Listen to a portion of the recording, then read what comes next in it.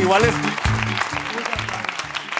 Tu acento colombiano, al principio querías... Tú, al- no- cuando llegaste a Estados Unidos Sí. y empiezas a ser actriz, te querías quitar el acento Me lo colombiano. quería quitar. Yo no entendía por qué, por ejemplo, actrices como Penélope o Salma. Yo decía, pero ¿por qué no se quitan el acento? Y van a tener muchas más oportunidades. Llegué yo ahí, duré seis meses dando clases, me arruiné, me gasté toda mi plata porque eso son horas y horas en esas clases y era peor.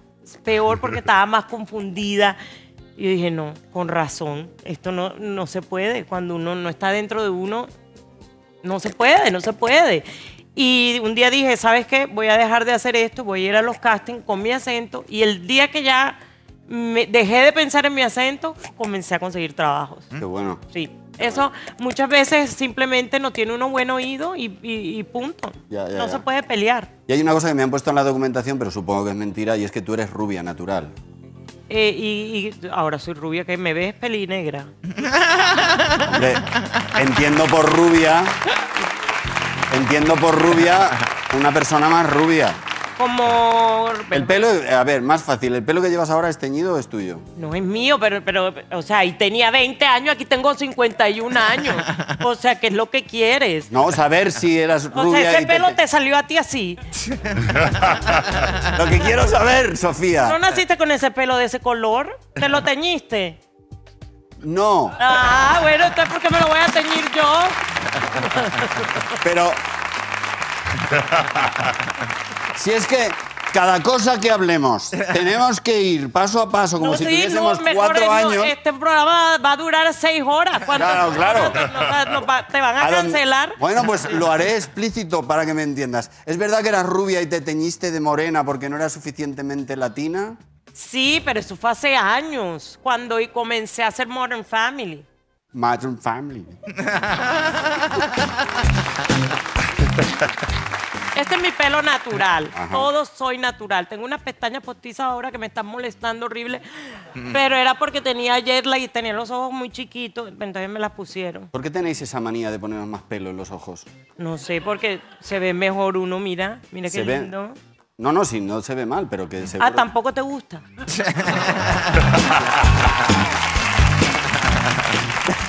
Dime una cosa. eh, a día de hoy, Sí. siendo latina, tú en, en- en Hollywood, ¿un latino lo tienes peor que una persona no latina? ¿A día de hoy? Bueno, yo no diría peor y yo soy la que menos indicada para quejarme porque lógicamente se han portado conmigo espectacular. He llegado más lejos de lo que nunca siento que me, que me merecía o que podía. Yo no me puedo quejar, pero sí, lógicamente hay muchísimas menos oportunidades, pero no es simple... Es simplemente porque los escritores escriben por lo general de lo que conocen y son gringos, escriben sobre su familia, sobre eso. Entonces lo que necesitamos es más escritores latinos para que sepan escribir para, para nosotros. Tenemos menos oportunidades y por eso, por ejemplo, por eso me tocó a mí producir Griselda, porque no había, yo quería un personaje así y no me lo estaba dando nadie. Y eso que venía de Modern Family, pero como la gente me conoce por comedia, no, no quería sentarme a esperar de que me dieran la oportunidad de hacer un drama.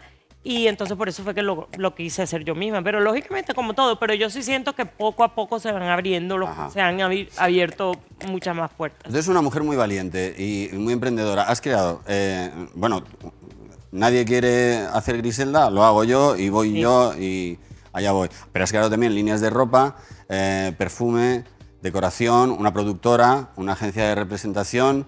eh, siempre te has buscado la vida, pero ti- tienes un montón de empresas. Supongo que eh, hay gente que te la lleva porque tú no harás nada. Porque... No, es que yo no hago nada, yo todo lo compro hecho. No, en serio, en serio. No, no, yo no, sie- no. Siempre, siempre has sido... Pues ahora hago menos, la verdad. Y ahora sí tengo más gente que me haga las cosas. Sí, ¿para qué te digo mentiras? Sí. No, no, pero... Sí. eh, empezaste vendiendo, es cierto que Mi empezaste... ve- cuerpo, sí. Calen- En- calendario. En calendario, sí. Pero eso es una idea muy original. Claro que sí. Eh, no había en el mercado latino. Eso era, se usaba en el mercado americano y no había en el mercado latino. Y un día dije, ay, y yo, ¿por qué no me puedo tomar esta foto? Y después yo soy la que vendo esto. Y así fue. Y fue un éxito. Lo hice como cuatro o cinco años de seguida, no me acuerdo. Y ahí fue con don- donde hice mi primera platica grandecita con eso y me di cuenta pues que había un mercado para mí y siempre tuve muchos fans, sobre todo mujeres, que siempre se me acercan qué te estás echando en el pelo, qué perfume tienes, qué, qué, qué pantalón te estás poniendo, qué es ese pintalabios. Eh, todo el tiempo en social media las mujeres me preguntan. Y entonces siempre he estado muy, muy muy pendiente de eso y por eso todo lo que hago son cosas que yo uso. Por ejemplo, tengo una marca de jeans que yo me pongo esos jeans, maquillaje, yo me pongo mi maquillaje. Ahora voy a vender cocaína. Eh, Es tu marca.